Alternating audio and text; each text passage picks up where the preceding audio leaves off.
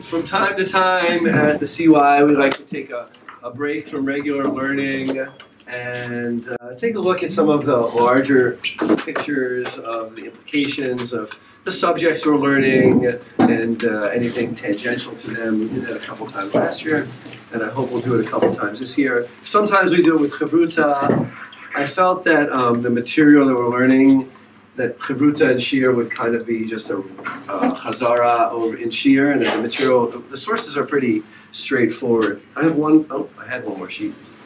Um, so if people need more sheets, maybe someone can run upstairs and make a couple more photocopies of them. I am currently out of sheets. And if you can't find it on Sefaria, ask uh, ask your neighbor. Um, and one of the um, one of the topics that sort of rolls around in my head periodically, um, both in terms of learning some of the material and also in experience, uh, in especially what goes on in America, um, with the issue of using non-Jews to perform uh, Jewish labor on Shabbat.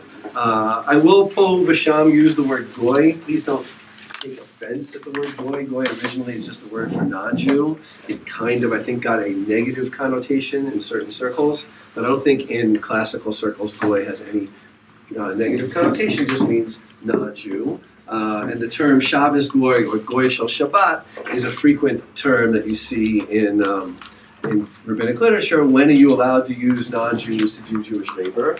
Uh, just a few personal stories that sort of uh, have irked me recently and more historically.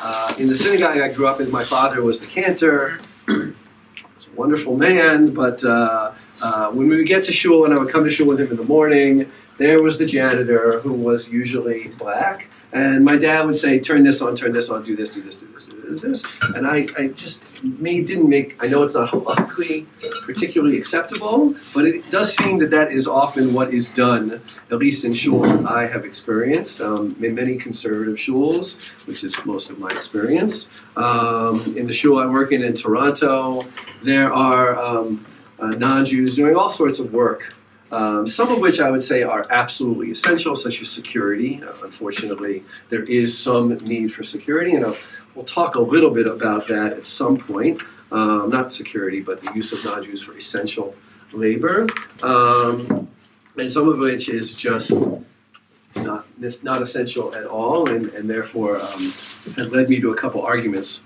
with the full-time rabbi, where I think that what we're doing is wrong, but uh, I'm just a visitor there, so I always lose those arguments. Um, but I wanted to take a step back and uh, think not just about the particular institute that came over the centuries to be known as in English the Shabbos Goy or the Goy Shabbat, but to look back a little bit at the central message of Shabbat because there's some sort of paradox in the entire institute of Shabbat about the universality of Shabbat. And when we look at the text, I think we can see how, how prominent that paradox is. Um, and we're going to look at a whole bunch of texts about this, and I'm going to try to um, present two sort of visions of Shabbat, one more universal and one more particular, and then maybe talk a little bit about how that plays out in our lives. Uh, and not just in terms of Shabbat, but I think it could be applied to other aspects of Judaism as well. I don't have a solution for all of these issues, but at least something to start thinking about. Um, the first place that Shabbat is mentioned, the first text on your sheet, uh, is clearly, obviously, everybody should know this, is Breshit. God uh, creates the world in six days, and on the seventh day rests. Uh, and God blesses the seventh day and sanctifies it, for God stopped working on the seventh day. Now, it doesn't exactly say there, and therefore you shall stop working on the seventh day. Uh, it doesn't really say that until uh, until uh, the Ten Commandments and Exodus. But I think the, the implication seems to be quite clear and will become clear as time goes along. The implication being that just as God created the world, worked, created for six days, and rested on the seventh day, so too you should work for seven days, do creative activities for six days, excuse me, and rest on the seventh day. It's a very clear message, and it is very universal. Uh, this comes up in Breshit, the first story in Breshit. uh, reading the shot of that story, it has nothing to do with being the Israelites, with being God's chosen people, with particular mitzvot. It's just the way of the world. Uh, now, scholars argue, historical scholars can argue about whether or not the Israelites, the Torah, was the first, were the first people to introduce the concept of a seven day work week with one day off. Uh, there are some biblical scholars who think that Jews brought that, or Israelites brought that to the world. There are some who think that they didn't.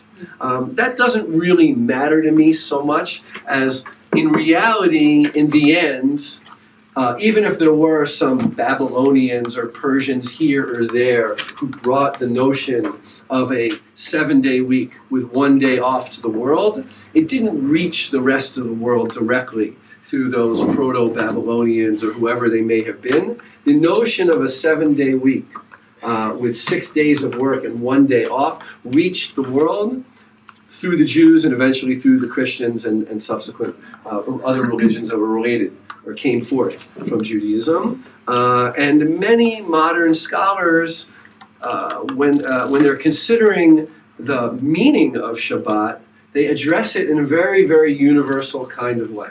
So I brought a couple quotes on your sheets here. It's on the page there. Uh, I think, just so you know, the Sefaria sheet has more quotes than the paper here. So I'm looking at the paper. There's a quote from Rabbi uh, Jonathan Sacks, um, who writes very beautifully, as he often does. Despite attempts of historians to trace a connection to the Babylonian calendar, the Sabbath was an unprecedented innovation. It meant that one day in seven, all hierarchies of wealth and power were suspended. Uh, he also notes in another quote that the Greeks and Romans were frankly perplexed. We'll talk about that in a second. Um, Seneca said it was because Jews were idle that they devoted a seventh of their time to rest. This is, this is true. The Greeks uh, did, we'll talk again as we get to the uh, rabbinic sources, the Greeks did not have a notion of one day a week of rest. Such a notion didn't exist. Now, they had already by this period a notion of a week, but they didn't have any notion that one day had to be a day of rest. I suppose that Greeks and Romans, those who were wealthy enough, rested whenever they wanted to and those who were slaves and those who were poor basically had to work as often as they possibly could. Uh, there was no such thing as a, as a day of rest. Um, Heschel talks about it in the very beginning of his very famous book, The Sabbath. Um, just the end of that quote The solution of mankind's most vexing problem will not be found in renouncing technical civilization, but in attaining some degree of independence of it. Uh, and I think that that's when we conceive, often as modern Jews, when we conceive of Shabbat, we think of it in very universal terms. What does it mean for us as human beings to cease creating, to cease traveling, to cease working, to cease doing all the things that we're doing and take one day and set it aside to something else, be it worship, uh, be it study, be it family, be it community. Uh, we think of ourselves very, I think, that this is something that is desirable, beneficial for all human beings. Uh, and throughout Heschel's book, I think most of it probably could be applied to all human beings. Uh, not just something particularly Jewish about which we say, well, this is good for us, but it is not necessarily something I think the rest of the world has to share with. We think of it as a value in terms of the universe.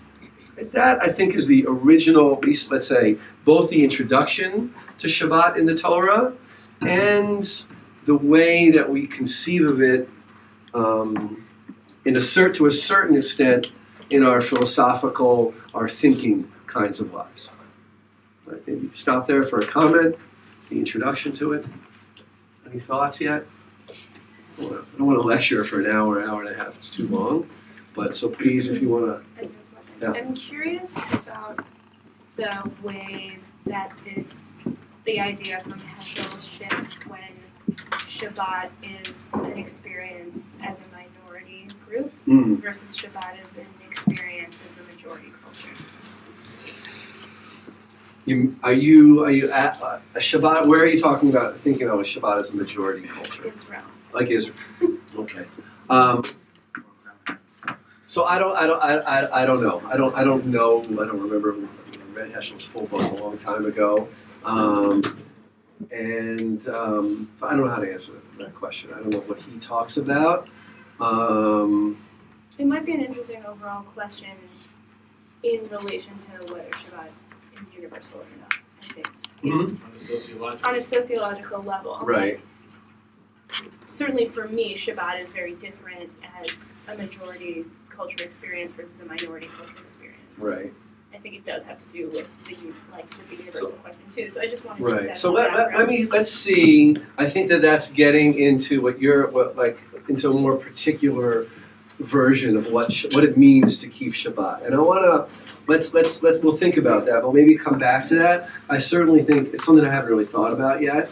Um, the difference between experiencing Shabbat. I mean, the, the extreme would be experiencing Shabbat relatively on your own with no one around. Not just a minority culture that has a community, but alone in a hotel in the middle of some downtown area where there's no one around for miles, which is just something on my mind because I have friends who travel for business and sometimes they're stuck in a hotel uh, in a business area, I don't know, Los Angeles, for instance, where there's just not much of a community around.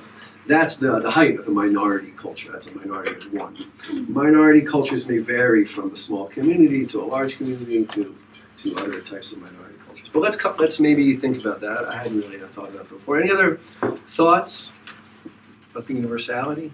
So to go along with that, it seems plausible that maybe the Jews introduced Sabbath. Yeah. Is the argument also that they introduced a seven day week, or is that So- So that's that's I think part of what he's talking about there too. The seven day week, right, is the only time period that we observe that's not tied to any astronomical feature.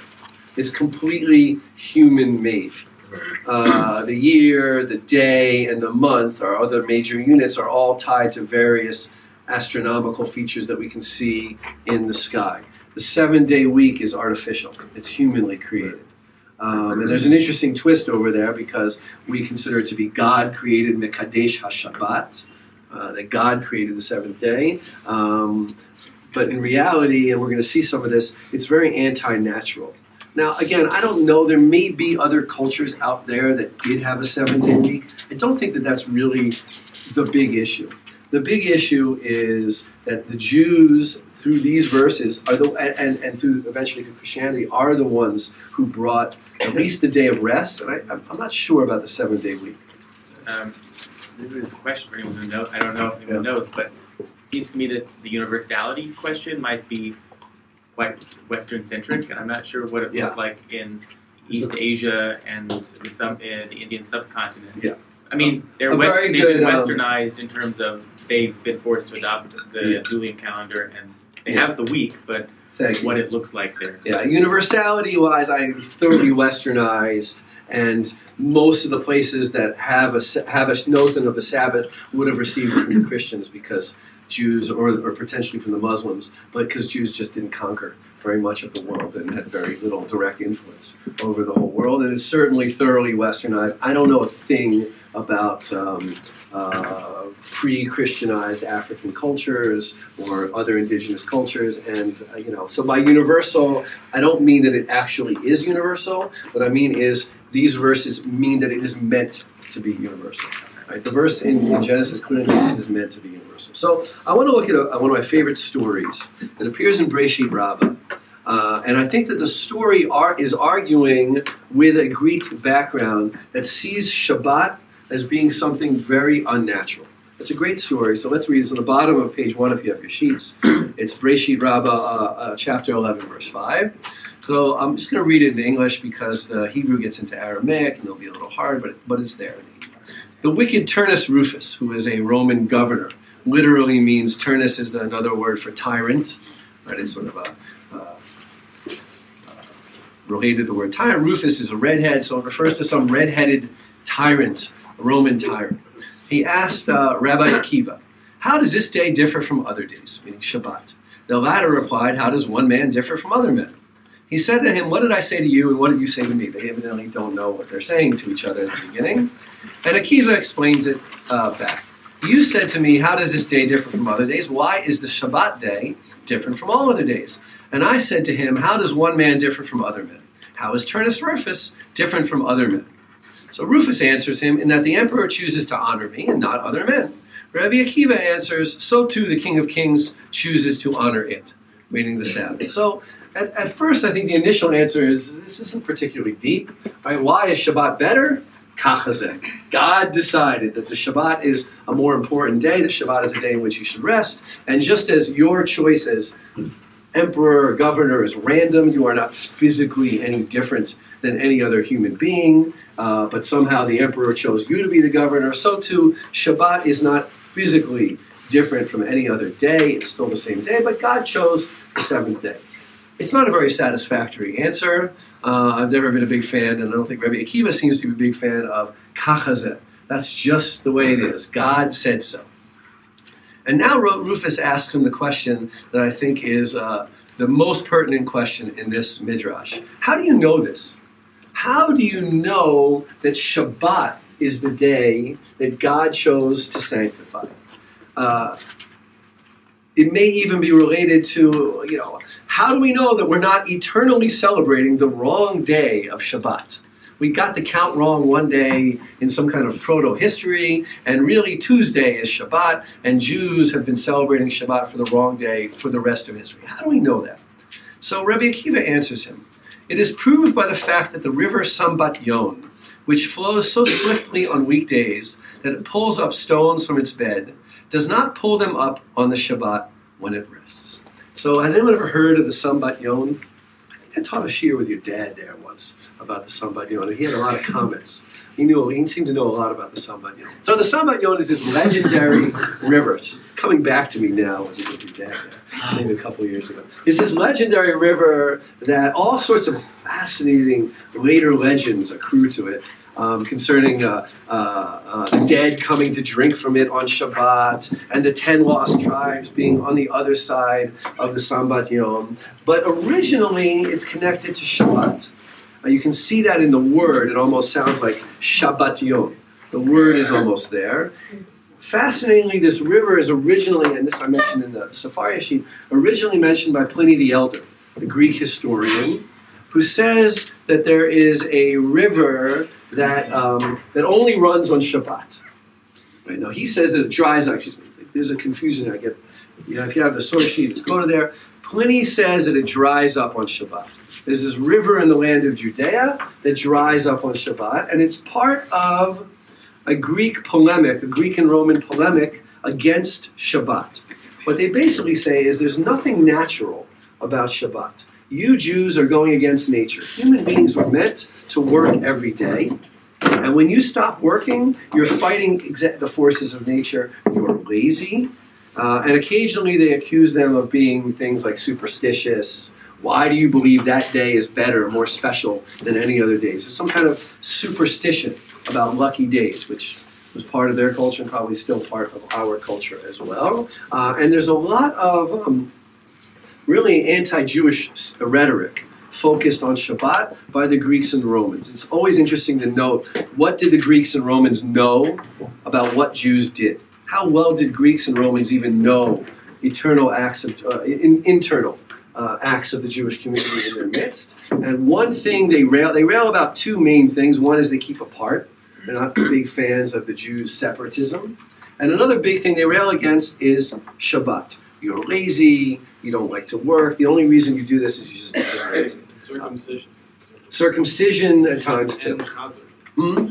Uh, not so much the Chazer. Chazer you find in the in the later in, in Jewish sources about Christian about um, about projected onto Greeks and Romans.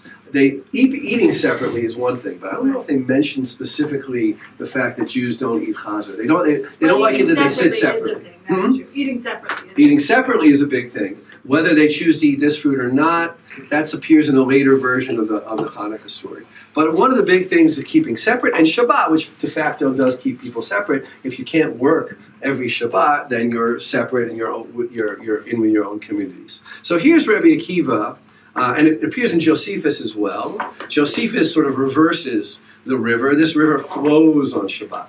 So everyone's arguing about this river, this legendary Sambatyon, and Rabbi Akiva comes and says, look, it's part of nature. That seems to be the, same, the major proof of this midrash. Shabbat is not imposed upon nature, but the natural world observes Shabbat as well. Obviously, this is something very hard for us to observe, or we don't know of any Shabbat Yon uh, river. But the argument there is he's trying to push it to be more natural, more universal, as if to say, look, Rufus, you're not observing the laws of nature. Nature says things should stop on Shabbat. This river stops on Shabbat. You, the Greek uh, or Roman emperor, you're not observing the laws of nature. So the conversation goes on and gets deeper into the laws of nature and Shabbat. And Rufus responds, Are you trying to lash me? Meaning, are you just trying to whip me with your silly proof? Rabbi Akiva comes back a necromancer. Second time, who, where did we talk about necromancers last week?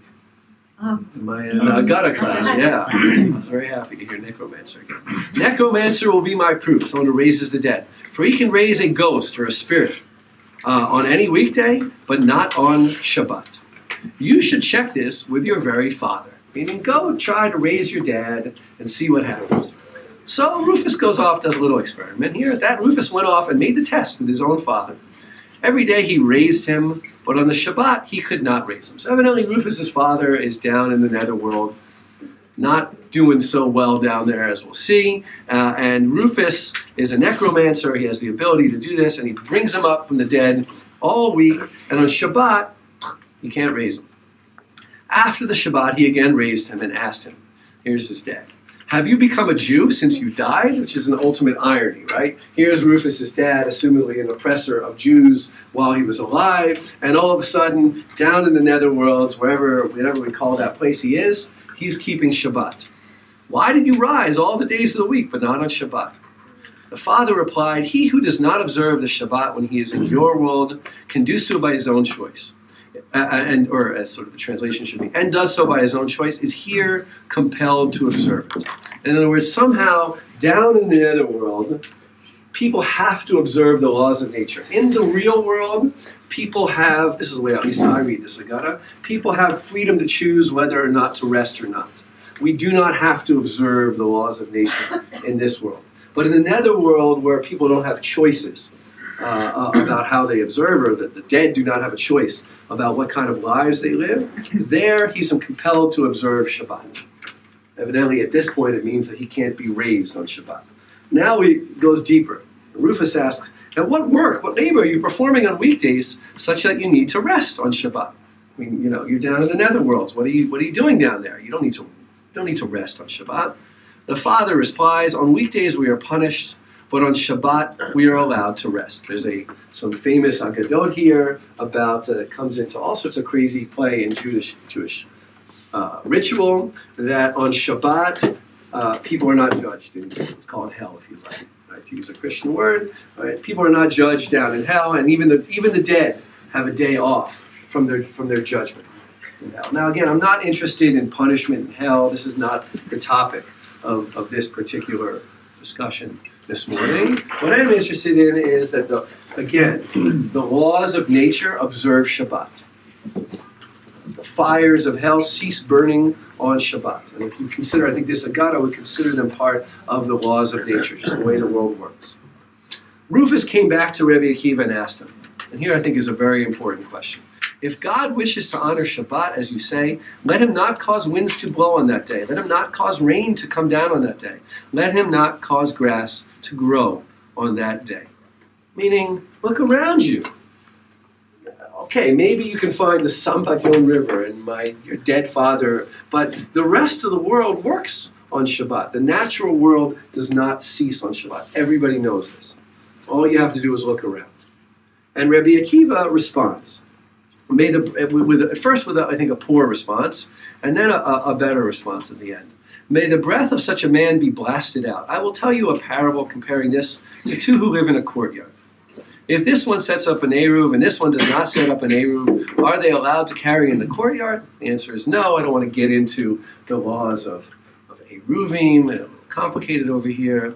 But if only one dwells in the courtyard, I mean one person, he may carry in the entire courtyard so too God, since there is no other power but Him, may carry throughout the world. Yeah, fair, but it sounds to me it's just like kachazeh again. Right? Just Rakiva goes back to saying, well, God is God, and God can do whatever God wants.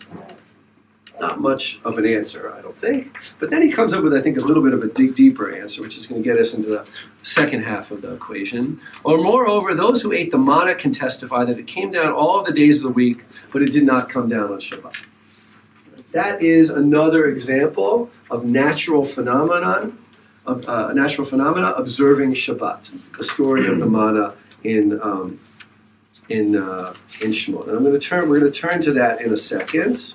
Um, but for now, the argument seems to be that Rabbi Akiva says, look, there is such a thing as a universal Shabbat. It's not just imposed by God, or it's not just directly imposed as a law, artificially created law, but it's woven into the fabric of the universe.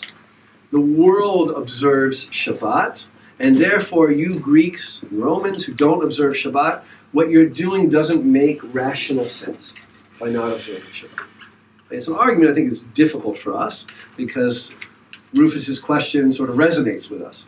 Right? The rest of the world is working on Shabbat. There's nothing natural about Shabbat. Astronomy, they may be working here too. Astronomy doesn't work by Shabbat. The year, the day, the month, the, the sun, the moon, and the stars, and then uh, and the earth all obey those laws. But Shabbat, it's just you just made it up.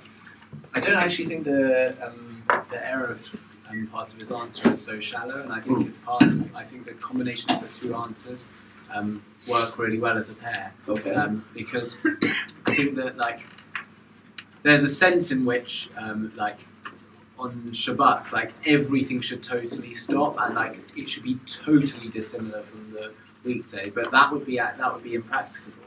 Um, that that wouldn't that's not really feasible. So there's there's like what, what he's saying is, and also the manna answer doesn't account for the fact that grass is growing. Like uh, Rufus is right that there, there is grass growing. Rufus is right that there is stuff that's happening in the world. So he has to say he has to come up with an answer that's something like um, like there are there are systems and mechanisms by which we can set stuff in motion before Shabbat um, in order that like to make Shabbat more feasible. And how do we do that? We build eruvs, we have Shabbat cookers and those sorts of things, so that we can so that Shabbat's not totally unfeasible and that like Shabbat can be good. But those things have to be set in motion before before Shabbat and prepared for before Shabbat, and that's what the eruv is. But then on the other hand, there are things that are like manifestly different, and that's Good argument. I, I think he's kind of saying that God is. I mean, I think that the Eruv. It's interesting to think about. There are ways of uh, working on Shabbat or accomplishing the things we need to say. But in this particular one, he seems to emphasize emphasize that God can do whatever God wants because God is the sole power. In other words, within the Eruv, he's not arguing that the Eruv allows us to break the laws of nature. What he's saying, at least more directly, is God is the sole authority in the world, and that all of the world is God's courtyard, and therefore God can choose to do whatever God wants. I mean, at least that seems to be the more direct argument. But I do think that, look, let's face it, the universal Shabbat, it's even admitted tacitly, sort of in the in the in the midrash, is unrealistic. Okay, we can find the manna, and we can find the raising of the dead, and we can find uh, this weird river. But all other rivers flow on Shabbat. The grass grows, the wind blows, everything flows, goes on Shabbat. So it, it, it's a little hard to just wave all that away. If Shabbat is universal in, and woven into the fabric of the universe, it's not, not so much. It's hard to find. It's, it's, you have to find exo- uh, historical examples, and it, it doesn't really work all that well. It's not, I don't think we perceive of it as a particularly strong argument. I think most of our senses would be if, if Shabbat is universal, it's more in the human sense. Humans need rest. Humans thrive, and, and, and we're not created to be like animals, right? I'm reading um, reading a book on Adam and Eve now, where he talks in the end of the book. It's a great book. Um, at the end of the book, he talks about chimpanzees as if they were living before the fall. Chimpanzees are living. What would our lives have looked like before Adam and Eve? They look like chimpanzees now. Now, I don't know that much about chimpanzees, but I would imagine that their behavior is relatively standard every single day of the week. And that whatever they're doing, hunting, uh, Mating, picking lice off of each other's back to get to your lice uh, sugya over there, they don't really take a day off from doing that. I don't think that any other animals do. And there's something unnatural um, about it. And to even argue that human beings naturally take a day off is virtually impossible in his world. In our world, it's, it's intuitive. But in their world, it wasn't intuitive. human beings just did not take days off. So it's a very hard argument, and I think the the Eruv analogy makes sense to me in this way. Um, if you were to take a spirit from the netherworld and put it into this world, or you should take, say, manna from another world and put it into this world, or the Samachon from whenever it flows right, to this world, that seems to be a different domain carrying than rain from one uh, aspect of, of from above the rakia to below, from the grass from below the ground to above the ground, and from the wind from one part of the sky to another. What it means to say is that um, Shabbat uh, has puts limits not on the natural world, but on the on the on the crossover between the supernatural and the natural world. And uh, he means to say uh, so you can you say that nature itself doesn't rest, but nature is within the reshut of of, of, a, of, a, of, a, of a single reshut. But there are reshuts that make things impossible that are suddenly you're unable to cross from one part to the other. Uh, so the big problem with you Romans and Greeks is that you don't consider that. Uh, that okay, you, you so much focus on the natural world, the natural body, the natural everything, and totally neglect the aspect of reality that you already know of, that you already practice with, that somehow that that is actually has a great amount of relevance in the in the daily Jewish life and week. This may be just a little too self-evident, but I may, perhaps it is worth um, stating. Um, in the, the animal analogy, I don't think it's necessarily just that humans have the faculties that are above that of most other animals, uh, but civilization. I mean, you, in order to even get to this point, you have to have writing, you have to have a certain capacity to store food. I would wager that certain uncontacted tribes in the Amazon basin don't, even, even, even though that they have faculties that are beyond those of animals, they couldn't do a day of rest beyond their they, they have to do like you know every day we will we must every day go and hunt or we will die um, I think what you're pointing out, Shabbat is far removed from our chimpanzee origins, right? I mean, common like, ancestral origins, if you will. it's Right? up- Shabbat up- up presumes a high level of it's quite high yeah Wait, one more, and then we're going to move on. Um, also, just you know, aside from just the abstract arguments, just like a much simpler level, it says in creation that God gives the plants the autonomy to just keep growing by themselves. Tezroa Zera, right? Like that they're just going to keep creating their own species, and he gives them that autonomy. In the same way that he say gives, that in Reishi, but I guess you can read it in there, you know? Oh, it, does, it does say that that they're going to keep producing according to their species and their kind. Okay, go ahead, yeah. and so will the fish and everything else. So just at a, at a much more basic level, could that just be the argument of the reason why God doesn't stop nature is because God already gave nature the autonomy to run by itself, and it's going back to the Jonathan Sacks thing of this is our independence from nature, as in nature doesn't always doesn't depend on us; it's going to keep running anyway. Okay, but Rabbi Akiva sees Shabbat in nature. Let's not deny there's the Sambatyon that stops every every Shabbat. I think that he sees that as evidence that Shabbat is the ceasing is part of nature. Uh, the dead can't be raised. The dead aren't um, judged on Shabbat. Words, clearly everybody understands that there are processes that continue on their own through Shabbat. But there is something natural about Shabbat. Right, I want to move on to the next the, the next story. The next story is the, the familiar one about the manna. I'm not going to read all of it, but the manna I think is going to bring us sort of to the the cusp, the borderline between particularity and universality. Right? On the one hand, let's think about the manna, right? The story goes, right, you know, you're familiar with the story. Uh, the manna isn't going to come down on the seventh day, and therefore on the sixth day they have to collect it twice. So there's something, again, something natural about Shabbat being woven, if you will, into natural phenomena in the universe. Uh, and we think of the manna as quite miraculous, but it's remarkable how the, the children of Israel are like, oh, okay, great, manna's going to fall from the sky. They don't, they don't seem to think it's particular miraculous, particularly miraculous. What don't they believe will happen? Some of them, at least. What don't they believe will happen? double portion. Well, they don't believe in the double portion. They have trouble believing that two will fall. And then the next day, they don't believe they, they don't believe two things. One is they don't believe that it, it won't last to the next day. So some of them leave it over the next day. But they don't believe that um, that it won't fall on Shabbat. They go out and try to collect it again on Shabbat. In other words, it, it's it's it's interesting what they believe and what they don't believe. They anticipate that manna is a natural phenomenon if it's going to start flow, coming from the sky, it's going to start coming from the sky, great. But that it should observe the ways of the world in which things either come all seven days of the week or they don't just stop on the seventh day because you say they're going to stop. Um, and, and, Moses gets very angry at them. Um, so, on the one hand, I think there's something very, again, universal about it. Moses, Ki'ilu, is showing Either if you want, God is control, has control over nature, and natural phenomena will obey, obey God's vision for the world of Shabbat. Uh, or you could say, in a more even a more natural sense, that there are phenomena, natural phenomena, the manna being one of them, that fall on Shabbat, fall on the rest of the week, and just don't fall on Shabbat, and they observe the natural world. Now, the particularity of it is that this doesn't come for all of the world. I don't know if there's manna for other people wandering around in the wilderness. We don't know that.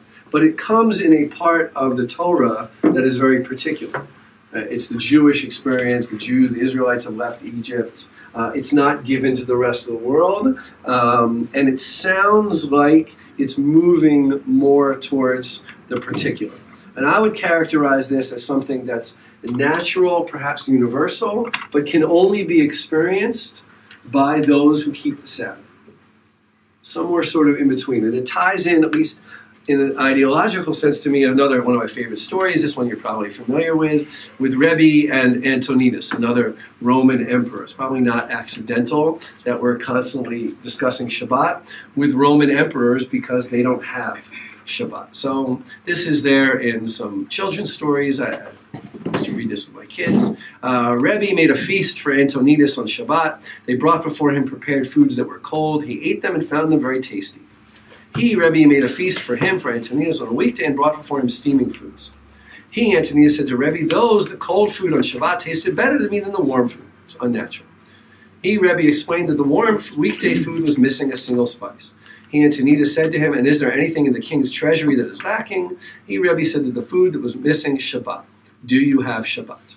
Okay, um, basically, Rebbe has Shabbat, and Antoninus does not have Shabbat. And food tastes better on Shabbat, even if it's cold, than warm food tastes during the week. It's this magical spice of Shabbat. It's, you've seen the kid's story? There's a woman who teaches uh, at, at, at uh, RSC, Mira, Myra, what's her Mira Wasserman. Mira, she wrote a children's book on it. She studied here a long time ago. It's a very cute children's book. Um, and she on the teaches there too, right? She does. She just published a book on the tractate of Avodah Zarah too. Right, right. But, well, her first public, I don't know if it was her first public, her pri- uh, one of her prior also a children's publications was an adorable children's book. You can write to her, tell her I quoted on that. It's very I'm definitely to me. Now, again, you can ask the question: Is is Shabbat natural? So the natural phenomenon, of cooked food, seem to observe the laws of Shabbat. So there is something, I think, natural, uh, scientific, if you will, about Shabbat. But on the other hand, who can taste it? Hmm? Only those. It sounds like only those who can keep who keep Shabbat. He Rebbe responds to them, Yesh Shabbat? Do you have Shabbat? You can't make your food taste this way, even if you were to sort of keep, cook it on Shabbat, because you don't have Shabbat. You don't really observe Shabbat. It's this natural phenomenon that is, let's say, accessible to all human beings. But if you don't observe Shabbat, which I think is what he's saying to Antoninus, you can't taste that spice. You won't know what it tastes like. He it, it different than what I had when I was with you on Shabbat. Yeah, there's something confusing with the translation. I want to go over it again. Right? Um, But is that even the? Yeah, in English, Antoninus can taste the food that Rebbe made for Shabbat. Right. So Antoninus, but Antoninus, I want to look it up again. Uh, It might be that I only quoted part of it. There's a lot of sources here. I believe that part of the uh, God, uh, Antoninus goes and tries to make the same food with the same ingredients and can't do it. Uh, so I want to look it up in the quote. The quote might have gotten misplaced in some kind of moving from. But he can taste the Shabbat. he can taste Right, Shabbat so when Jews cook the food, when Rebbe cooks the food. So there is some accessibility and some naturality to it, but when Antoninus tries to cook his own food, he can't. Yeah, it's a difference between being able to taste a dish someone else prepared because they have the right spices, and Right. not being able to prepare because you just lack that in your cabinet metaphor. Right, he lacks Shabbat kivyachol in his cabinet. In his cabinet of spices, he can't make the food taste that good because he doesn't observe Shabbat. Now, you could argue here it's accessible to him. Were he to start keeping Shabbat, perhaps he would be able to taste that food. And it's unclear to me if he were to, certainly if he were to convert, uh, Enom Deber, but what if he were to start keeping Shabbat as a non Jew? Would he then be able to taste it? Would he taste it um, if it was cooked before Shabbat? Would it taste better? Which is part of the paradox with cooking on Shabbat is really, we all know that food does not necessarily get better when it's re- reheated the next day. Um, to put it mildly, it often does not get better. But uh, the, the, what I'm trying to get at here is this sort of borderline between the universality and the particularity of Shabbat.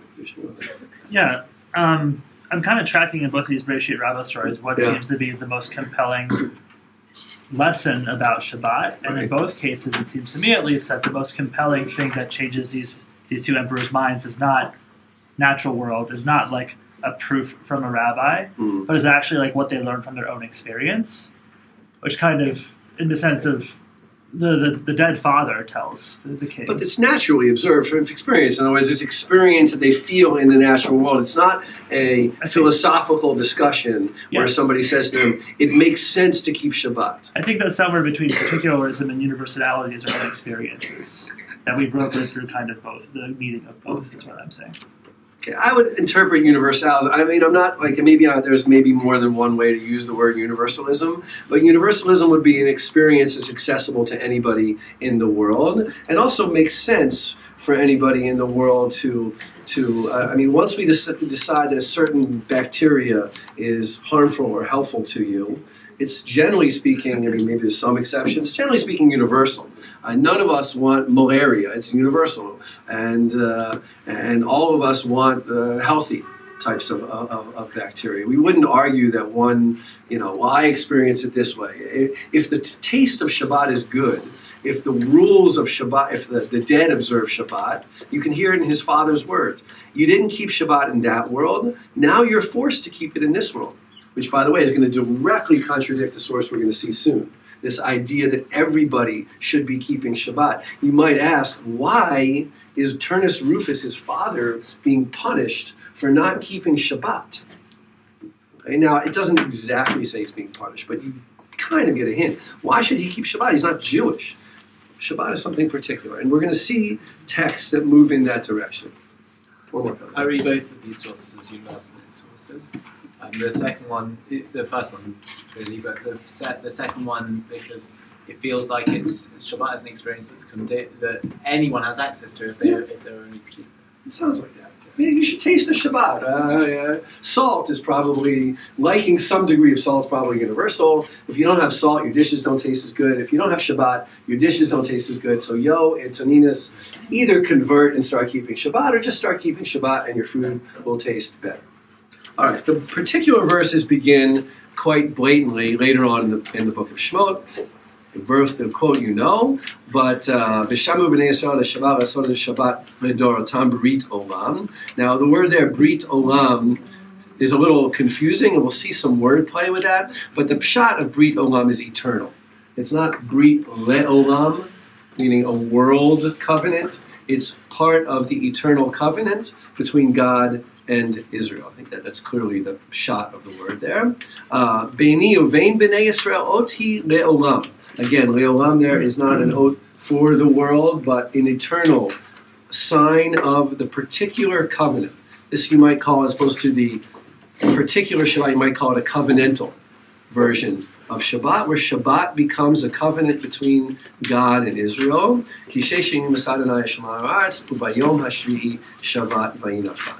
And it's, I think, as particular as you can possibly get. Very much something that is there for Bnei Israel and not for Umot Olam, not for the rest of the world. Uh, it doesn't really make sense for anybody else in the world to be keeping signs of the covenant between Israel and God. That's a particular covenant, the same way we might think of other particular mitzvot as being signs of observing the brit between God and the people of Israel. So too, Shabbat is not something that's natural. It's a law that reflects the natural, reflects creation, but it is the observance in this world of Shabbat is part of the covenant between people of Israel and, and God. And it's picked up um, very clearly in a few midrashim. So the simplest one is in Mechilta de, Rabbi Yishmael, Beini uvein bnei Israel, v'lo beini uvein. Uh, Or Beini umot, uh, the, the, the Rashi Tevot is Ovdei, uh, uh, uh, Elilim, right? Where was skipping? Right, worshippers of idols. Right, God, the, the, the Shabbat is a sign between me and Israel, and it is not a sign between me, God, and the rest of the world. Uh, the same kind of uh, concept appears in uh, in Bavli and Beitza, in Masechet Beitza. Amar Rabbi Yochanan Mishim Rabbi Shimon Bar Yochai. Kol mitzvot shenatan lehem Hakadosh Baruch Hu Yisrael natan lehem befar Hesia. God gave all of the mitzvot to Israel in public. Why did God give them to Israel in public? So that the rest of the world could hear them and, and learn them. And if they decide not to observe them, then that's their own decision. There's nothing hidden about it. The only one that's hidden is Chutz Shabbat. Very interesting. The only mitzvah that God hid from the rest of the world and didn't let the rest of the world know about it even, Shenatan Lehem B'tzina, was given in private. Shenamar Beini Uvein B'nei Yisrael Oti Le'olam. Uh, Shabbat is highly, and this midrash is the most particular of mitzvot.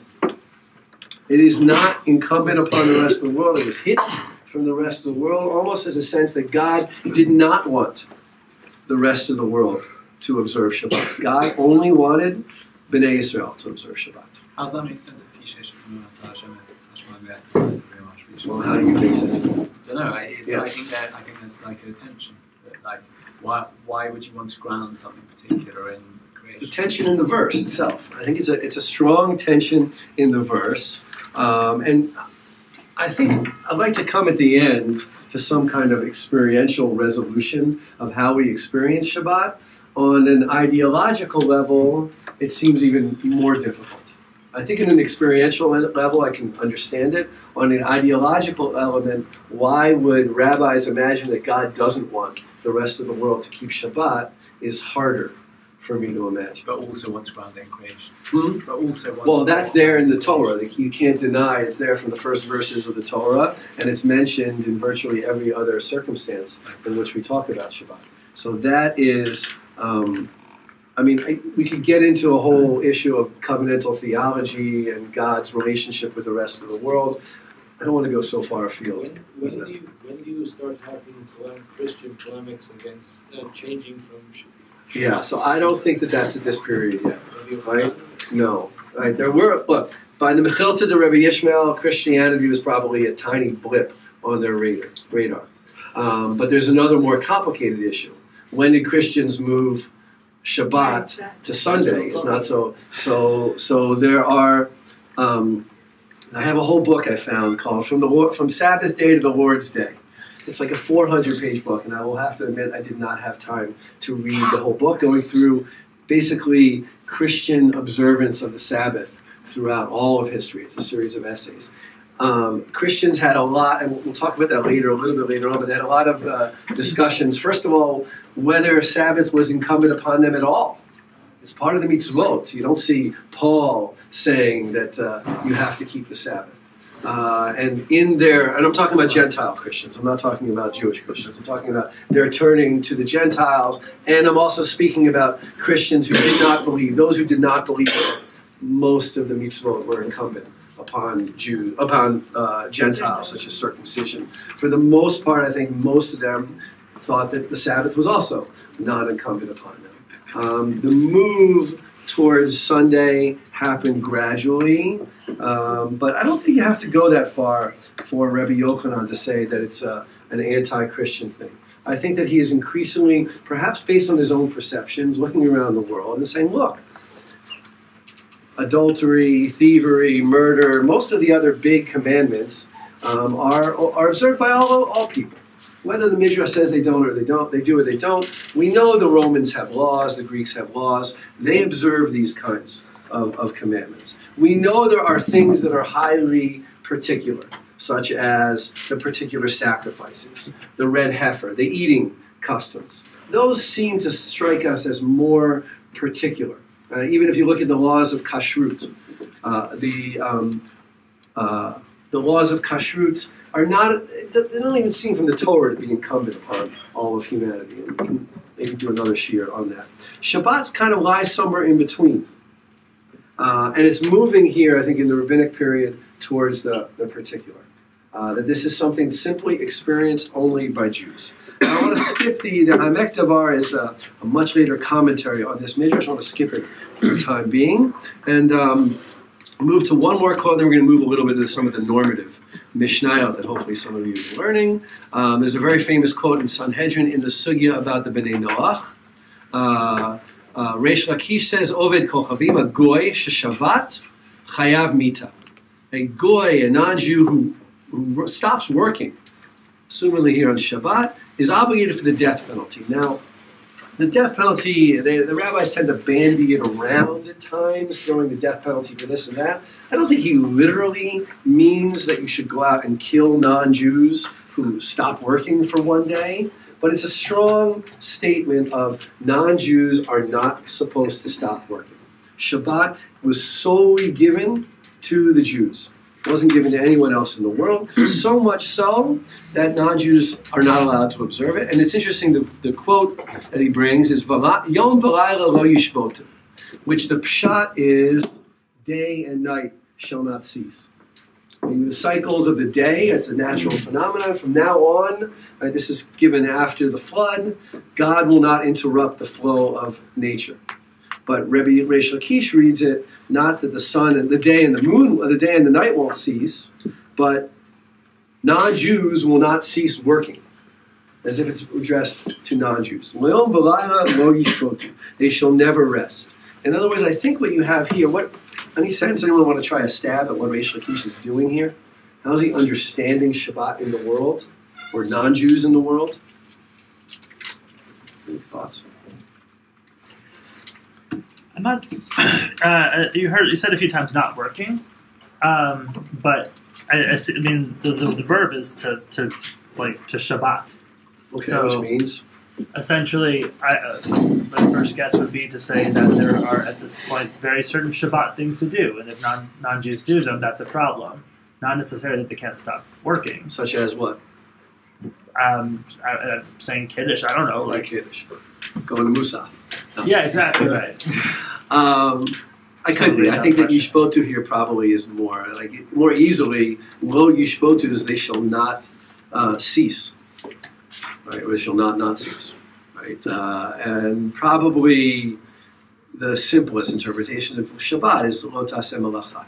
But maybe we'll get a little bit into some of the particulars.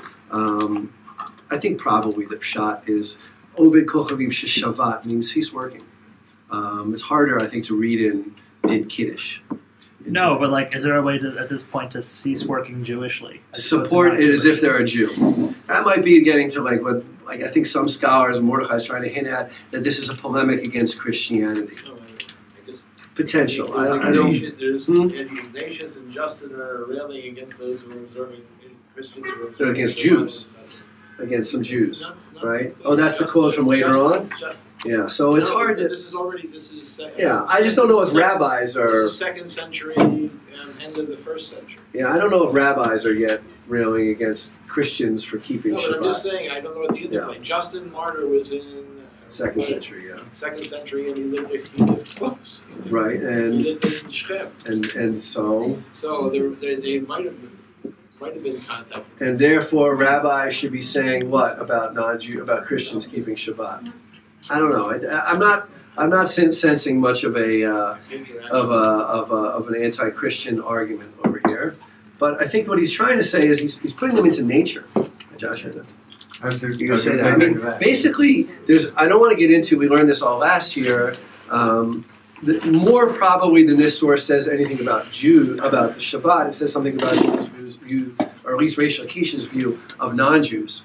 The non-Jews are a form of nature over here. I think that you know it's not uh something I find appealing, but there's a little bit of a loss of humanity here.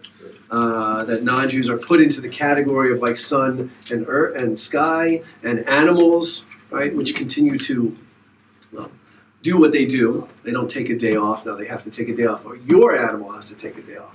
That Um, the, the putting of non-Jews though in the scheme of nature we Yeah. have in a lot of places. Like there are a lot of midrashim, like the beginning of Sifrei Dvarim, there's a whole Yeah. midrash that, that that lays out, or all Yeah. the midrashim that in the end, you know, it's Shamayim, Aretz, nature, and non-Jews. They're Yeah. all sort And of that they're ruled by the stars and Right. Jews aren't. That's right, Jews aren't. Um, but it's certainly, at least as a de facto, moving Shabbat completely into the Jewish realm. One more comment?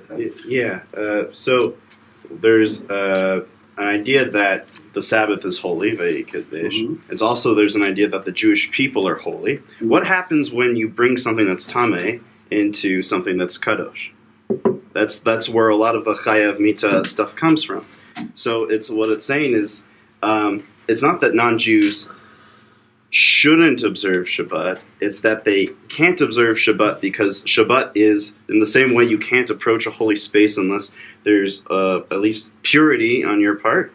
You can't approach a holy time without a certain purity on your part. Okay, I think um, let's leave aside the purity thing there, but the, the idea of Kedusha may be working in the background here and there. I think that there's something, the word is called Avaya Kadeshehu, right? God sanctifies Shabbat, sanctifying it, bringing into the realm of, perhaps according to these texts, Israelite realm, which God does sanctify Bnei Israel, according to many texts. Uh, and therefore, the Am Kadosh belongs to the Yom Kadosh, and anybody else does not belong there. I don't want to go into the, the issue of Tameh entering into the Sure, Kedusha, but there may be something lurking in there, the connection to the Kedusha of Shabbat and the connection to the Kedusha of, of, uh, of Bnei Israel. But he doesn't quote that text. He quotes the texts that go back to the natural phenomenon, and as opposed to, let's say, Shabbaticizing, if that's a word, the nature, and saying nature observes Shabbat, it goes the other way around. It says non-Jews are not, uh, in this context, considered anything but part of nature. Nature doesn't observe Shabbat, so too non-Jews do not have to observe Shabbat and should not observe Shabbat. Now, I want to move to a few Mishnayot here. Um, some of this material is stuff that you may have learned. Um, there may be, right, let's let's face it. In reality, experience reality, Jews do not have the ability to get non-Jews to keep Shabbat. They can say it all they want. Rabbis can say it all they want, but Greeks and Romans weren't going to listen to them. That's just a, a function of reality. So, in their push for universalism, if they believed in a universal Shabbat, rabbis' means are going to be limited, as they are with most things. Right? Rabbis did not have the political power, nor do they really seem to have a particular drive to go out and convert and get the rest of the world to observe their understanding of mitzvot. Um, but you may hear, uh, I think, an echo of this in a few texts that talk about Jewish relations with non Jews on Shabbat. Um, and here I admit that there's more than one way to interpret some of these debates, but the first section is that famous debate that you've been learning in Mishnah. I think if you learned the first paragraph of Shabbat, um, between the, the debates between Beit Shammai and Beit Hillel about setting a motion and process involving a non Jew before Shabbat. So Beit Shammai says one should not sell something to a non-Jew on Friday or help him load an animal or lift a burden onto himself, onto the non-Jew, unless there is sufficient time for him to reach a neighboring place before Shabbat, but Beit Hillel permits it. Uh, it may be, you could ask the question about Beit Shammai. Why should Beit Shammai, if I sell something to a non-Jew, Erev Shabbat, why? What's the problem with that? So he's going to carry it home. We know that the non-Jews don't keep Shabbat. We know that they're carrying their own stuff. They're engaging in commerce. They do whatever they want to do on Shabbat. What particular problem should there be if I sell something that is no longer mine? It belongs to him. So what should I care about selling something to a non-Jew Erev Shabbat? Have you learned this Mishnah? Some of you learned this Mishnah. Yeah. What did any answers? What did you come up with? Anyone come up with anything? Yeah. Well, we, we talked about the idea of your things as being an extension of you. And Yeah. Like even if you're selling something, it, there's sort of like still some you on it for a while. Yeah, some you you you don't rub rub off of it. You you're on it. If you know, like it looks like the Bavli goes a little bit in that direction. It says something like everybody. The Torah already says right. You're not allowed to have stranger. Your stranger. Your gercha. Do work for your animal. Um, and if you were to like say give your plow to a non-Jew erev Shabbat and loan it to him, for instance, people is what the Bavli says. People might think that the non-Jew who's plowing on Shabbat is doing your plowing, in which case, which you're clearly not allowed to tell a non-Jew to plow your field on Shabbat.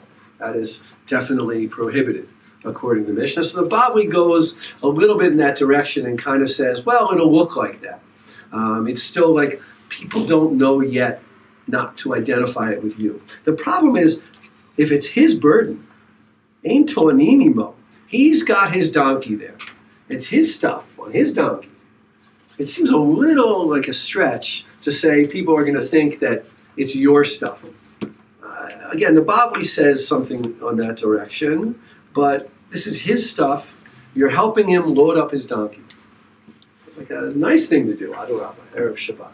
But you can't do that unless you know that he's going to be able to get home, which I want to argue over here is a little bit of a remnant. Right? The rabbis live in a world, we live in a world where we're not going to force people to keep Shabbat. It's unrealistic and it's just not going to happen. But at the least you can do is not, at least according to Beit Shammai, a bet something that you know mea achuz, 100%, will be a Shabbat transgression. Loading a donkey with him when he's, I don't know, a few miles away from home, knowing that he's going to be taking it home and knowing he's going to be carrying it on Shabbat is one little step that you can do so that you're not directly abetting Shabbat transgression by a non-Jew. The same thing appears in Avodah Zarah about selling animals to non-Jews. You're not allowed to sell Jews, according to Avodah Zarah, are not allowed to sell large animals to non-Jews. Some Jews can sell small animals, some Jews don't, but no one is supposed to sell a large animal to a non-Jew, a cow or an ox. Why not? Because you know that the non-Jew is going to work the animal on Shabbat. That's just what they do. Now, you know, the Bavli says it's a gzera, lest you come and people are going to think you own it, and they're going to think they're working your animal. But it may be like the least we can do, according to that Mishnah and Beit Shammai, is not directly abet non-Jewish work on Shabbat. Matt, you anything? I was just thinking about the like the line Sherbi, Sharecha. Mhm. I'm wondering if this would be an extension of that. Like they're not they're not staying by you, but you're in the same location. And Yeah. yeah. I mean, is there I I think that if you read the Torah, you could see a similar kind of argument. You can't, according to the the, the, the psukim that appear in the in, in, in the in the, uh, in the Ten Commandments, you can't control the rest of the world. You don't have the Torah does not give you a mandate to go out and make sure nobody else works. But you're not allowed to work anything that's in your direct control. The gercha probably, I think the pshat is somebody who's working on your land and is subject to your laws. Um, it's not any old any person in the world. It's somebody who's under your political authority. You can't. He can't work either, even though he's not, let's say, the Torah's terms, a naturalized kind of citizen. He's not an Israel. The same thing with your animals. You're not allowed to work. Your animals have to have a Shabbat as well. Uh, something we tend to forget about, but the Torah says it directly. And that may be an echo over here, I think, of Beit Shammai as well. Anytime that you have control over some kind of situation, you have to prevent Shabbat worship, uh, Shabbat trans- transgressions. Does that mean that the Torah would imagine, let's say the Jews were to go out and conquer large lands, that they would have to not make non-Jews work there either? I don't know. That's a harder one to tell. It's hard. It's hard to tell. So Some of that's connected to the status of the ger, but there's some semi-universality both in that in that verse and maybe in Beit Shammai. Of course, Beit Hillel permits. Beit Hillel says no problem. So we're only talking about Beit Shammai. Um, I mean, I, I it, one can see how it might be convincing to say, well, you know, you're a little part of ensuring that the that the Gentile doesn't, you know, do something that's forbidden, but it's not forbidden to him. Right. Um, I, I've experienced something like. I mean, I think we, if, you, if you're around Gentiles, you may experience something like this in the business world. They may not be aware of Shabbat, and this may, to me, looks like a homer maybe of like, oh, we will cease our business activities much earlier so that they don't. You sell him something, and he says, you know what, I need to come back and buy something from this Jew again. I mean, it, it's it's. Uh, to me, it looks like they're attempting to, to cease their business activities with Gentiles way before the possibility where it becomes a problem for them to have to deal with it. uh, If you have a guy who shows up at your shop, close to Shabbat, and says, "I need to buy something," right. how are you going to explain to him, I can't be selling you anything? Rather, if they knew four hours ago I, the Jews have stopped Oh. selling or stopped helping with any type of business activities, that seems to be a plausible explanation as well. They're trying to stop it early enough so as not to offend. Uh, Well, to avoid the, Non-Jew. avoid the problems of, you know. I mean, but according to the pshat of the Mishnah, you're walking along, you see a non-Jew, and he says, "Hey, buddy, come over and help me." And it's like you're going 15 minutes before Shabbat. All right. In other words, some of these are business situations. Some of them lifting the burden. It would be uncomfortable, admittedly, right? But you'd have to say, at least according to this Mishnah, according to Beit Shammai, you'd have to say, "Sorry, I can't do that." Or hide your Well, head. I mean, I'm not saying it's practical, The- but at least on a theoretical. if you're point. on your way home Yeah. and you're on the mm-hmm. way, and he's no longer in the market, it, it's more plausible, I would think, that he's within walking distance of home at that point. At the market, if you are helping him with it, he probably still has several kilometers to go. I mean, this is Okay, maybe at least on an ideological basis, though, it seems to be keeping Jews away from non-Jews, where they're going to be directly abetting abetting work. Uh, I want to get into some of these more. The, when the term Goy Shel Shabbat comes to you, or Shabbos Goy, you're probably more familiar with the type of stuff that comes up in the next couple of Mishnah, which have been addressed at length. And I'm not going to go into all of these things. The general, um, well, I want to read the first Mishnah, which comes up in chapter Tet Zayin. Where's Beth? Beth here? She been learning these? No, she's not here. Oh well, she missed her opportunity. This is the uh, the parak she's been learning. I don't know if she got to it yet. Um, a Gentile comes to extinguish the fire. One may not say to him, "Extinguish" or "Do not extinguish," because it is not their, meaning the Jew's responsibility, to ensure his Sabbat rest. Meaning we have nothing to do with him. We have no responsibility. Their rest is not upon us. They may rest or they may not rest. You can't say them extinguish, you can't say them do not extinguish. You have zero responsibility for them. It doesn't quite so far as to say, like the other source, that they, they shouldn't rest on Shabbat, but it completely separates um, the Jewish responsibility of getting Jews to rest on Shabbat. For a child, the next line is you're supposed to tell them not to put out the fire because shvitatan, shvitato alehen, his rest, the child's rest, is your responsibility. But we have no responsibility for non-Jews on Shabbat. Uh, other Mishnah, even a couple away, get into more, a couple Mishnah later. I'm not going to read the whole Mishnah. Basically, get into passive uh, uh, uh, uh, use of non-Jewish labor. If as long as the non-Jews were not working for Jews, since we have no responsibility for them, we can at times make some uh, use of their labor, uh, but we can't tell them what to do.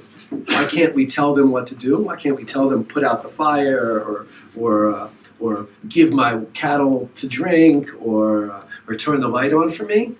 Why would we not be able to do this? This is. Why not? If Jews are not responsible for non-Jewish tra- Shabbat transgressions, why not just tell Jew- non-Jews to work for us on Shabbat, such as they do in the synagogues I've been to? What's what's wrong with that if we're not responsible for them? Any thoughts? Why not? Why why not? It's you know their choice. You know, it's not their choice if, if we're asking them to do it. like to go. I mean, they're not forcing. This isn't like But slave labor. but that's just, but it's it's, uh, it's really you doing the work. I think They're that's just- probably. They become like a button that you can Yeah. press. I think that that's probably more. Like, what's the big difference if you tell your finger push the button, or tell your arm to, to put out the fire, versus you tell somebody else? You are directly causing that work to be done. That much you can't do because it's not really all that different than doing it yourself versus instructing somebody to do to do the work for you. Uh, now, even that gets erased under the cases of necessity. I want to look at the last sort of source I want to read um, because want we're going to run out of time. I want to talk all day.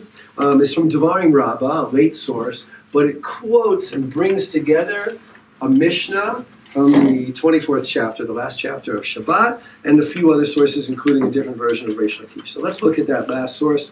It's on page 5. The halacha is a Jew who was walking on the way Erev Shabbat and it grew dark, and he had in his coins and coins or something else. What should he do? Right? He can't carry those coins anymore. It's a prohibition of carrying. Coins are muksa. It's Erev Shabbat, but he doesn't want to lose the coins. This is what our sages taught. Shouldn't be a question mark there. One for whom the path grows dark Erev Shabbat, he should give his wallet to a non-Jew. That's a direct quote from the Mishnah. Uh, and that is a direct uh, use of non-Jewish labor on Shabbat. That is not sort of benefiting indirectly from non-Jewish work, or if it is, it's very, very small. Let's say way of construing it that way. It's um, it's directly telling a non-Jew do this work for me on Shabbat. It seems almost to contradict the Mishnah in chapter Tet Zayin, and I do think that there are contradictory Mishnayot about non-Jewish labor within Masechet Shabbat. Uh, it is oftentimes Masechtot of Mishnah are not uniform on certain ideas. Uh, they weren't written by one author. It was com- compiled by, by perhaps authors over several generations. And you do from time to time find Mishnah that contradict each other. And it seems uh, that this Mishnah somewhat contradicts some of those other Mishnayot. Now, it doesn't say lechatchila you can just carte blanche use non-Jewish labor whenever you want on Shabbat. Right? The situation is one where you're faced with either the Jew loses the coins, or the Jew uses a non-Jew to carry the coins. Uh, and under those circumstances of a certain, what seems to be a certain loss, you're allowed to use non-Jewish labor. But the, the Mishnah doesn't seem to really take it under, it's not such terrible concern. Um, it's, uh, it's taken rel- relatively lightly. And Devarim Rabbah combines this with something like our sources that we saw before. And why is it permitted to give it to a non-Jew? Rabbi Levi said, when the children of Noach were commanded, Bnei Noach were commanded, they were commanded only about seven things. And Shabbat was not one of them. It is true, Shabbat does not appear on the Noahide commandment list. And therefore they are allowed to be given to a non-Jew. Non-Jews can do work on Shabbat. They're not commanded. It's not one of the things that we expect from non-Jews. And Rabbi Yossi Bar Chanina said, a non-Jew who keeps Shabbat before he accepts upon himself circumcision is obligated for the death penalty. It's another version of that Reish Lakish quote. It is forbidden for non-Jews to keep Shabbat. Why? For they were not commanded to keep this. And why did you say that a non-Jew who keeps Shabbat is liable for the death penalty? Why so serious about it?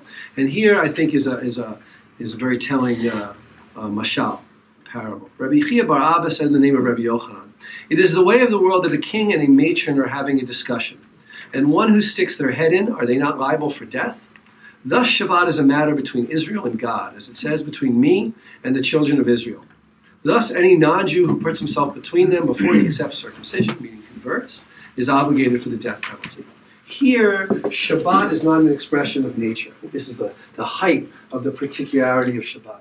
Shabbat is an expression of this loving covenant, a moment of intimacy between a particular person in the midrash, in the parable, the person being Bnei Israel, and the Kadosh Baruch Hu, and God.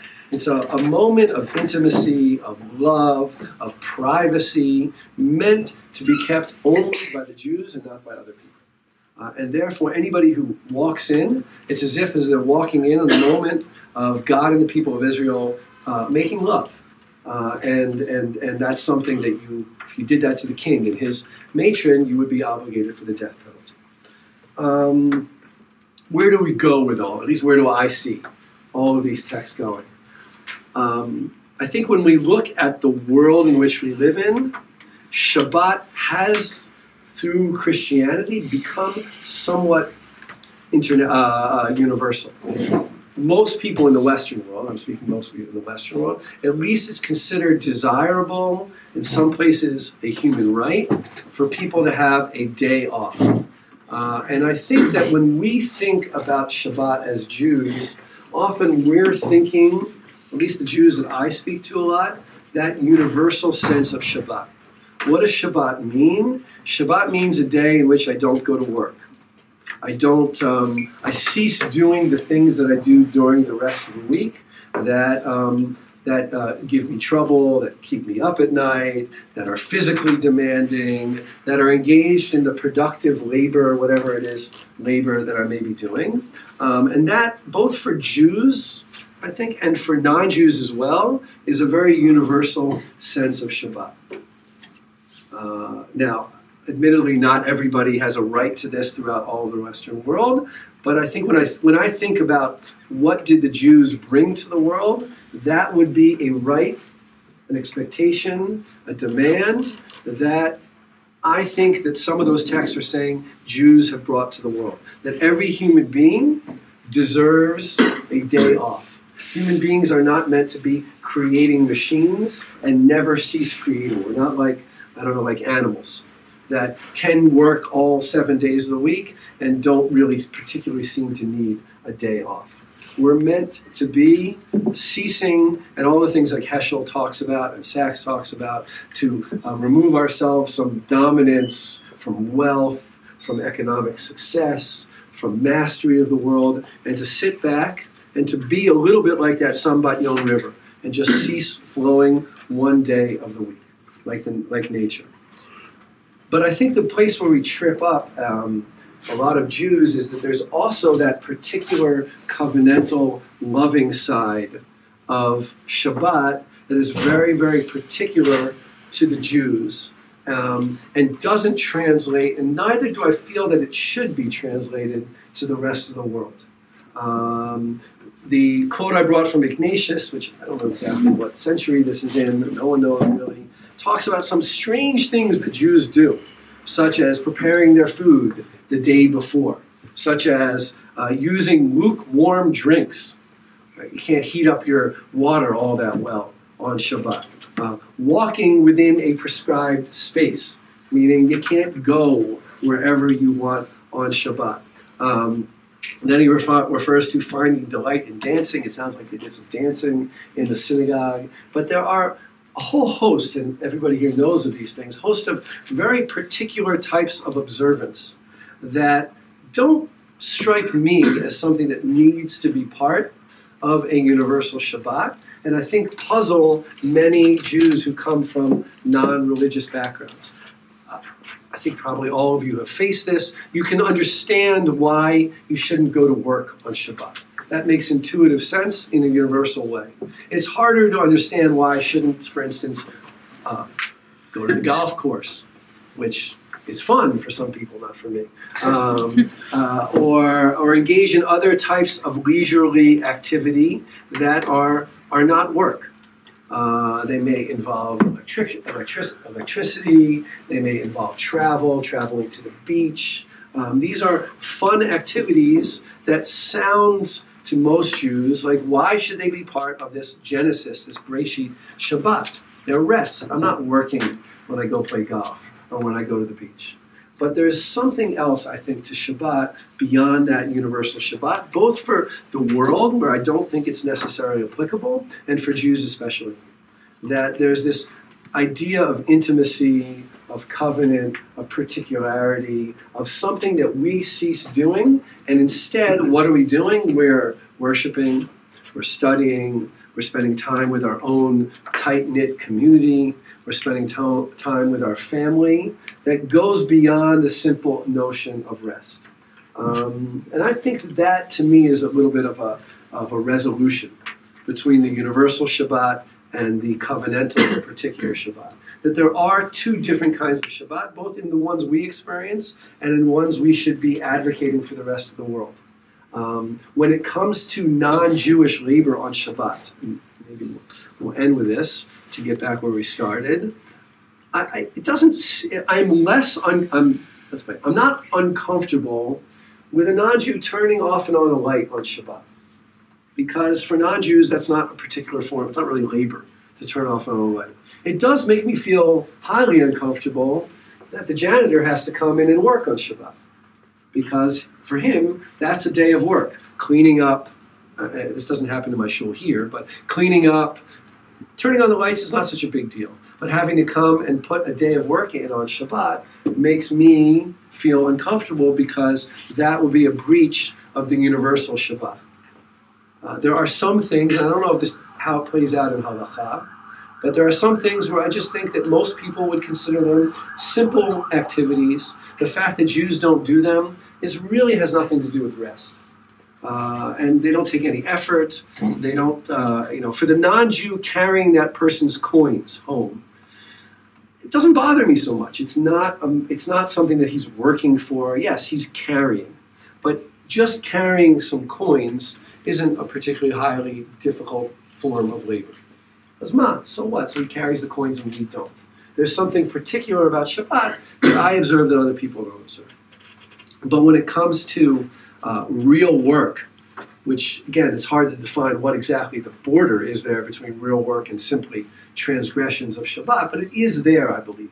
Every Jew feels it. Putting something into a kli sheni is actually more work than putting it in a kli rishon, for, uh, for example. Sometimes Shabbat actually causes us to have to work a little harder to get something done because that's it's not part of this universal Shabbat. It's part of this particular covenantal version of Shabbat.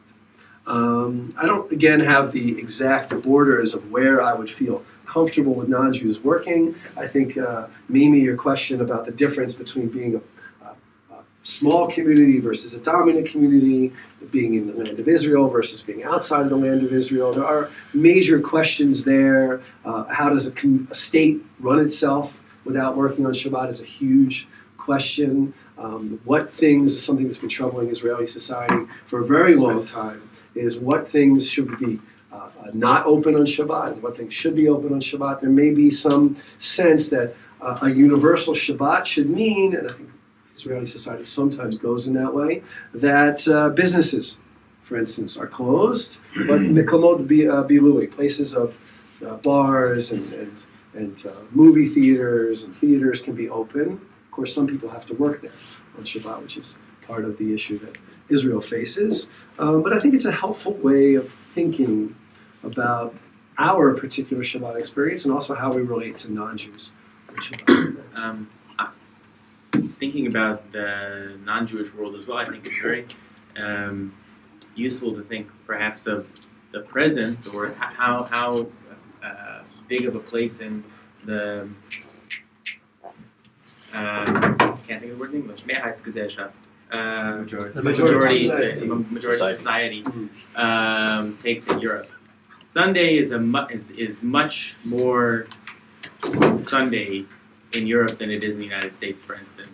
And even like you know hardcore leftist workers' parties like the fact that I mean they don't like that it's on Sunday, but they you know at most most businesses are closed, restaurants are open, public transportation operates, and there's debate about that. But I think that's a you know if we're talking about this in a legitimate way, that probably is the kind of dynamic that I, I think you're talking about here. What is the? I mean, if you have janitorial staff come in on Shabbat, but then they, that there's no legally mandated Sunday time off, then they really they're working on Shabbat too. They don't they don't have their own Sun. I mean, You mean if somebody, somebody, yeah. or, Yeah. or, or I mean, in Europe it would be different. They would they come in and work, but Sunday is no work. Yeah, Um, I mean, I would argue that the janitor in the synagogue, if he has Sunday off, likelihood, and he's not Jewish, likelihood that's the day he wants to spend with his family. The fact that he works on Saturday, you know, in some ways shouldn't bother me because he has Sunday off. It is a universalist kind of day. In other words, not giving. He doesn't have Tuesday off when his family's all at other jobs. He has Sunday off, maybe not always, right? But but uh, but he has a day off, and and there's something I think probably important about mass numbers of people having the same day off. if you have a day off that nobody else has off, so you're kind of you lost to that sense of community of, of leisure is usually done with other people. At least it's times done with other people. Um, so maybe in that sense, and this is you know, does it matter if a non-Jew working for a Jew, as long as he gets she gets a day off, does it really matter if it has to be Saturday? And I think to a certain extent, no. Um, that person has a human right to one day off. By the way, it's not two days off. We forget that in America, as nice as it is to have Saturday and Sunday off, the Torah does not advocate two days off. The Torah advocates one day off. So I would like to have another day off too, but uh, that doesn't really work that way. Um, but it's something to think about. Um, what about if it doesn't work out the same day? What about in Israel is a big question, where there are people that have to work on Shabbat, essential activities on Shabbat. I personally think that some of those activities should be done by Jews, and a lot of them are done by Jews. Um, but uh, don't leave out some of the modern problems now, uh, for now. Other thoughts?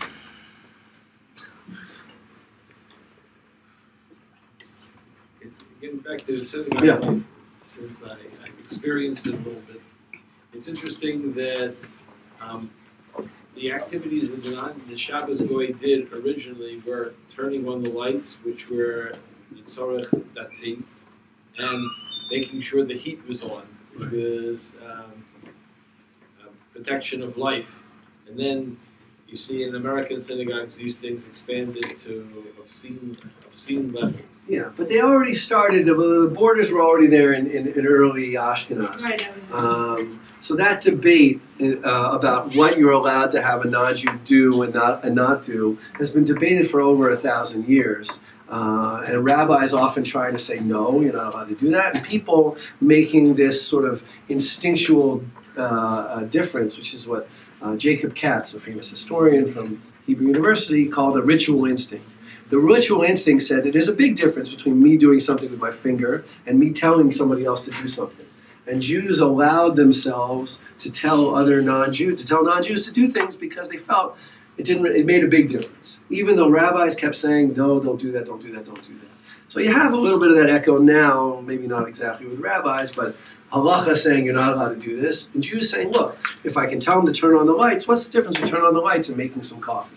I know you can make a halachic difference, but it's hard for people to see that. But I'm, I'm trying to get back to something kind of like a, a, a, a way of looking at each malacha or each kind of act and act, asking ourselves, is that part of the universal experience of Shabbat?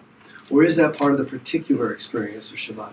I think that once you have the person who's working at synagogue on Shabbat, in his perspective, turning off and on the lights is no different than turning off and on the, the, the, the coffee urn.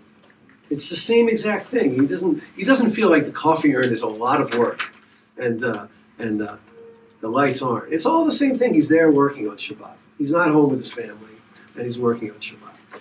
In that sense, again, I know that in a halachic sense it makes a difference. From an experiential sense, it doesn't seem to make any difference from him, from his perspective. I'm interested, Zushi, you kind of touched on this a little bit before. I don't know if this was your intention, but I'm interested. Like, if we're talking about universal elements of Shabbat, or even like what does it look like to universalize the Shabbat to a certain extent, like something like uh, Kiddush, it's not just like a mitzvah, a ritual. It's like it Mhm. adds holiness to the Mhm. experience. Is there a way, like I don't know, maybe based on Jewish sources, or maybe just based on a modern day innovation, to like take the essence of some of these, you know, more ritual elements of Shabbat and not not do them the same, but like kind of make something that could have the equivalent impact for non-Jews that wanted to have a day of rest that wasn't just like cessation from labor, that also involved cultivation of holiness. some kind of worship. I mean, that's what the Christians, at least that I, most Christian, at least thinkers, seem to think that their Shabbat is not just a day of rest, but it's a day of rest in order to do something, which for them is to worship, um, which is basically lekadesh. I mean, what is lekadesh? It's to turn your focus to holiness. So I think, in at least in Christian, uh, in religious Christian thinkers' minds, I'm not an expert on it. The answer is yeah. It's just it would be for their particular religion. I don't know how to do that in a totally secular sense. Maybe another question.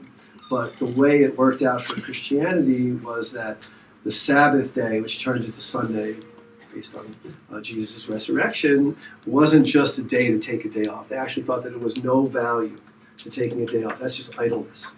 Uh, but to take a day off to do something with it, to worship God, had had value. Um, so, in that sense, they developed, I think, their own particular version of that. Uh, you know, we, in other words, their own particular intimate covenantal. I don't know if the word covenant is the right word. Their own particular uh, experience of their intimate relationship with with their version of God occurred on Sunday as well. Um, and that, that's Christianity. I don't know enough about Islam to I don't know anything about Shabbat in Islam. I was said cottage because I was pressed for an example. I couldn't think of- but um, Kiddush. Uh, I think it's this reminds me of another kind of conversation I've had at, in prior years at school around like monotheism, particularly about being a Jewish universe. Like essentially, it's a particularly Jewish thing at certain times that we have to somehow make universal, and the rest of the the world contemporaneously says, "Hmm, that sounds like a personal problem." Um, and I wonder a little bit. I, I feel echoes of that in this conversation as well, around like why does universalism matter to us? Ought it matter to others? And why is why might there be a difference? For example, like why it, certainly I thank also I, I thank God for Shabbat. I also thank unions for a weekend, but also all, having access to work for lots of people is deeply important. So like why can't in the situation where I might be in shul and see someone else who's not Jewish doing work in the shul, that might be like, oh, he doesn't have a he doesn't have an experience of Shabbat on Shabbat. Um, might the answer be that sounds like a, like if you're worried about that, that sounds like a personal problem. This person has work, um, or necessarily saying like, yeah, essentially the universalism is that for us to reckon, or is that something that are we okay with that being like a Jewish universalism? Does that make sense? So, Okay, the next, the last step. um, like why are we like why can't I see someone doing work on Shul on Shabbat and saying, "Wow," uh, someone say, I- "I'm holding my people in my life who, who have worked in synagogues," and I've talked to them. They're Jehovah's Witnesses or something. They don't necessarily view time in the same way, and say, "Cool, I'm glad they're here." Right. So uh, maybe part of what you're asking, there's more than one universal value. There may be a universal value in not having to work seven days a week for your entire life. There also may be a universal value in making sure that people have uh, work that they can perform so that they can earn money to provide for their own families and to ensure an economically successful, broadly successful society are probably both people make the universal values in which conflict with each other on Shabbat and and and um, so that's I, you know, I don't think it's sort of why should Jews care about the rest of the world is more of there are when we look at the rest of the world there are conflicting values sometimes and uh, then we'd have to address um, what to do with those conflicting values. To, to comment maybe on Max's thing about about Sunday, I do think that in America there's because of this intense commercialism mm-hmm. and the selling, selling, selling, selling all the time, there probably is a push, and that's probably why, I'm not on it, but why Sunday seems to have deteriorated. And while I, as an observant Jew, do enjoy the fact that stores are all open on Shabbat, that does, on Sunday, excuse me, it does mean that somebody's always at the mall, or I, I can't say going to the mall, but always at these stores. They're always open 24 hours a day, all the time, constantly selling something. There may be some kind of universal value there in saying, like, this is not a Jewish value. People deserve a day off. Now, maybe they all do get a day off, but I, I would imagine there are places uh, in America where people don't want to get a day off. Josh. Moving on from that, I, I was looking at further on the sheet. Yeah. I had uh, uh, Ethan Tucker. Yeah, I quoted a couple pieces. question of maybe we need Gentiles for Shabbat, Yeah, and that kind of presents a different model of universal Shabbat, where everyone has their particular Shabbat, but Yeah. fill, fills in the gaps for others. Um, and something I like, we've tried a couple of times in Berlin, Yeah. is uh, over Christmas, Jews go and volunteer in places in, uh, in soup kitchens and refugee shelters to give others a day off, because that's a time when Jews should be should be filling in the gaps for, for other people's Shabbat. So you can have different particular uh, expressions of Shabbat while holding it as a universal value. that's nice. I wasn't sure what exactly what he meant by that one. There was something there that like could be understood in that way, and there was something there that could be understood um, more. I felt like not as comfortable with like that we we were like Gentiles become an instrument through which we observe Shabbat, and it was more of an instrumental way of looking at um, at Gentiles. If you present it as a um, as a uh, you know dude study, kind of like a two way street, and that we all need each other in some kind of symbiotic relationship in order to observe our particular conversation with our God or our version of God. That makes some more sense to me. Because then it's presented in a very symbiotic way. If it's just, we really, these laws are impossible for us to keep unless we use Gentiles, it strikes me something's wrong there. Um, and that if it's not more than just like, oh, I happen to be there and I can't carry my coins, all right, that happens sometimes. But if you have to shape your world so that I can't keep Shabbat without Gentiles, then something strikes me as wrong in, that, in that two things. One, response to that, um, with the coin example, there has to be some sort of trust between them. He's lending him his wallet. Absolutely. Right, so I feel like there's something powerful in that, that they're Yes. giving their wallet to a Gentile to trust them to hold the money and not steal it until after Shabbat.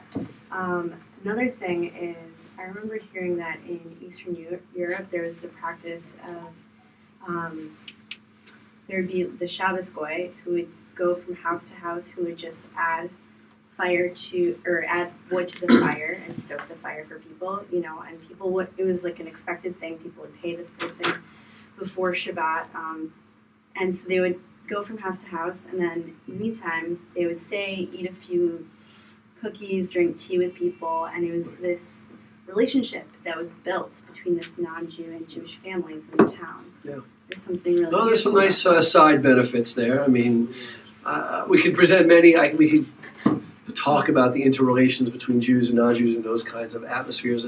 Um, there's no doubt that that would have built some good relationships. I mean, I don't want to push this analogy, but there were slaves that had great relationships with their masters too. And uh, I'm not saying it's the exact same thing. There's a border, right? I mean, some of those are very positive relationships, but there's there's two sides to that that equation. Um, uh, so I, want, I'm thinking of this more on an I like in reality. Reality reality is going to impose its own necessities, but at least in the way I think I'm more interested in the way that Jews conceive of Shabbat, and that if Jews I think would realize that there's an element of Shabbat that is not so universal, that is very particular, and therefore it's not this I just an idea of to rest on Shabbat. There's more, I think, to Shabbat than just I'm not working. There's that that image of the intimate covenant between this particular people and God. Um, and in that case, it's not just about the laws of nature. It's also about um, about a covenant. All right, I want to stop here. It's it's getting a little late. Um, thank you all. I'm like this is something I've been thinking about for a little bit, and I thank everybody for for listening. Um, why don't we? I think most Talmud want to do Chavruta now. I don't think we have time for Shiur. It's too much listening in one day.